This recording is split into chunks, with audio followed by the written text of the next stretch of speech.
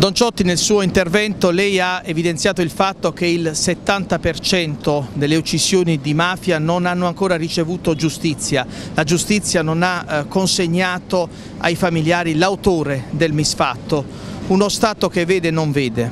Eh beh, eh, lo continuiamo a dire da tempo che c'è bisogno di verità e solo con la verità si riesce a costruire della giustizia e allora l'eredità che Paolo ci ha lasciato e con lui tanti altri che hanno speso la vita proprio per la democrazia e la libertà del nostro paese l'eredità è questo bisogno di verità, di responsabilità, di impegno. Un paese che si professa civile non è possibile. C'è solo una strage in Italia che si conosce la verità, è quella di Piazza della Loggia di Brescia.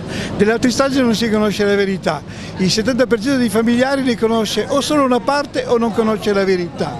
E allora questa è l'eredità che anche questi ragazzi abbiamo bisogno di verità, solo così ci può essere giustizia. Il vento sembra essere cambiato ma gli accadimenti degli ultimi giorni, quel busto eh, con la testa di Falcone decapitata può essere un allarme di un male che non è stato completamente estirpato, debellato, un, un cancro, un male metastatizzato.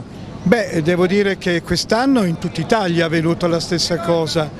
Certamente Giovanni Falcone allo Zen eh, ha fatto molta risonanza ed è molto, ed è molto, importante tutto questo, ma poco fa in provincia di Agrigente a Livatino è stato oltraggiato il monumento, a Petiglia quella di Lea Garofalo, a Catania, a, a Napoli, a Salerno, in questi mesi in tutta Italia sono stati oltraggiati, loro sono vivi, non sono morti, perché sono vivi attraverso l'impegno, la memoria vera, la responsabilità di tante persone che disturbano.